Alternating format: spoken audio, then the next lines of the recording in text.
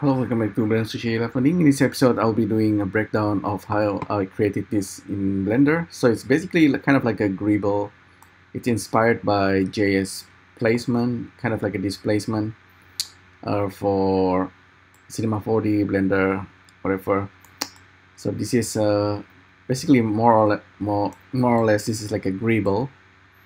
Um, the way I made this is uh, using geometry nodes and default cube or default box of Blender right? So this is the default cube that has been scaled and then I simply scatter all these uh, different type of greebles into this guy. So let's see um, let's really take this apart. Okay this stuff um, is quite easy to understand. So it's basically an instance object. So this is like a, I'm not using particles, it's all just geometry nodes. So I have this cube with uh, geometry nodes. This is Blender 2.93 alpha, so still work in progress. And I simply have this modifier. Same thing with this guy, the plane, just simply geometry node. So if I have um, like a torus I can simply like uh, maybe displace it a little bit so it's a little bit fatter. And then I can create geometry nodes and simply apply.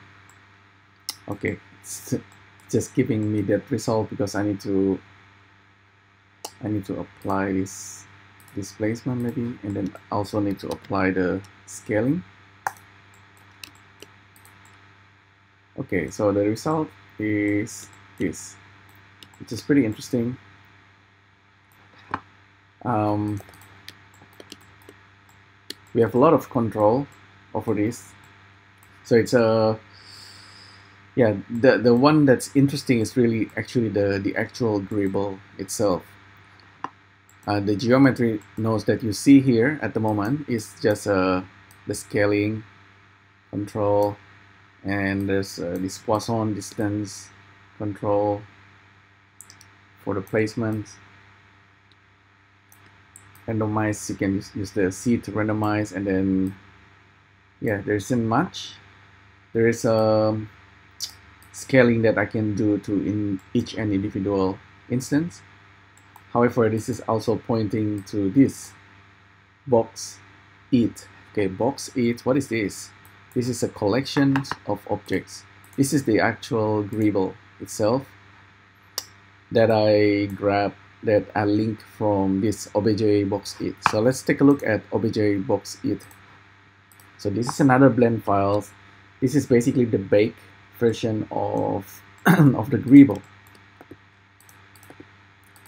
This is what it was before um, before any uh, scattering that I did before any instancing.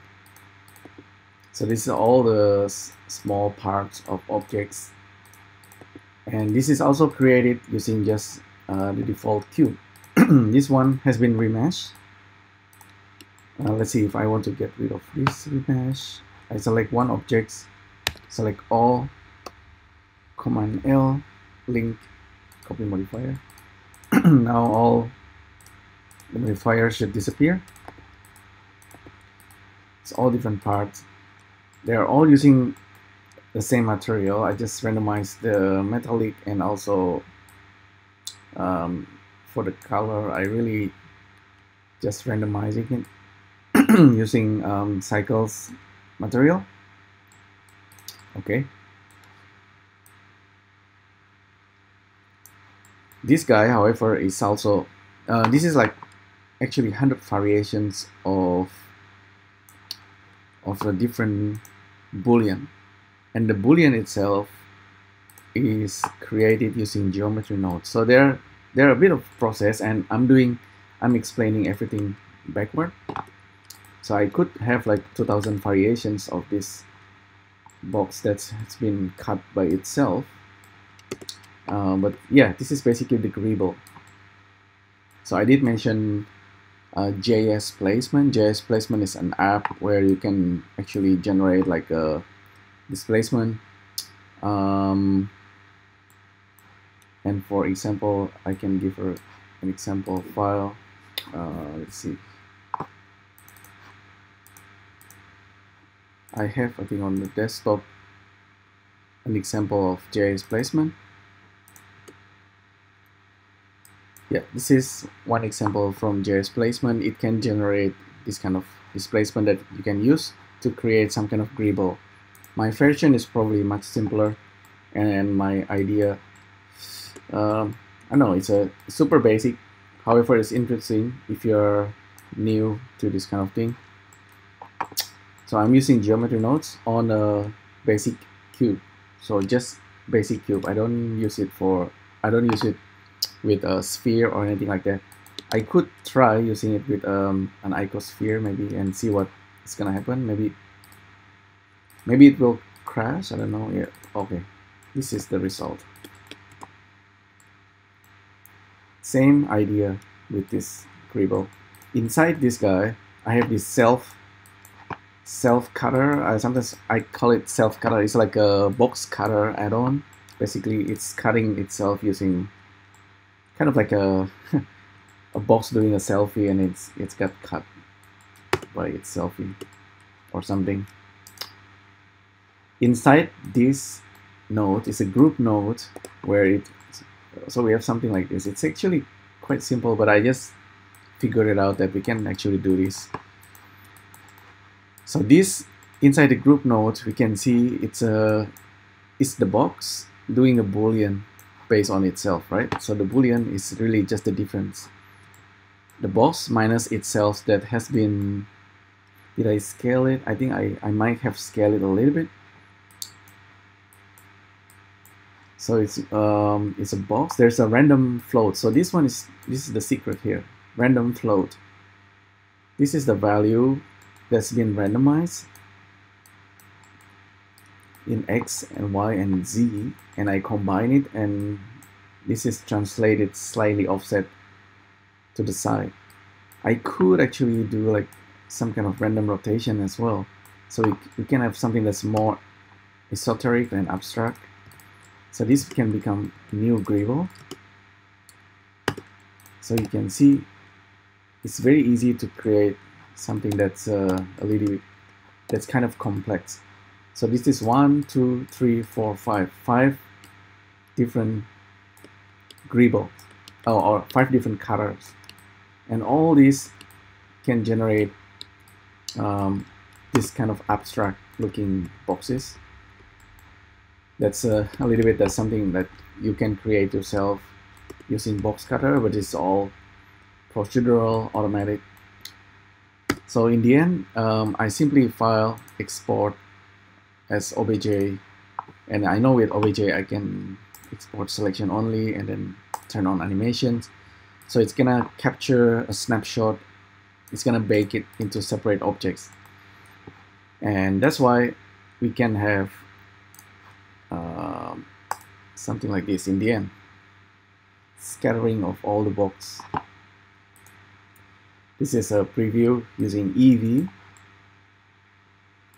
can create light. I think this could look quite nice if I uh, if you also try rendering it out with a with a freestyle you know just to want to get the edges. Kind of like a anime looking. Would be good for something like a comic books where you have like a really simply uh, you have details of objects and uh, lots of animes actually having this kind of beautiful lines and details so I'm not aiming for realism I, I think with uh, maybe if I use JSPlacement as extra displacement into this greeble it's gonna look quite interesting. So we end up with this kind of a kind of like a box city, box building. Um, I don't know what it's called.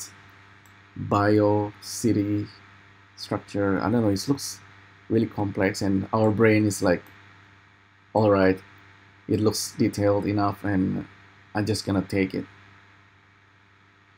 So that's basically a box greeble and everything is created using a simple cube Okay, so yeah, it's really powerful. I think it's part of geometry nodes workflow in Blender.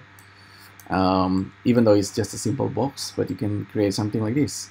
Um, and you can do a lot more. For example, for each greebles, you can really add details, even adding like a human figures or something, and you can have like a like a proper detailed city or I don't know some kind of organism. All right.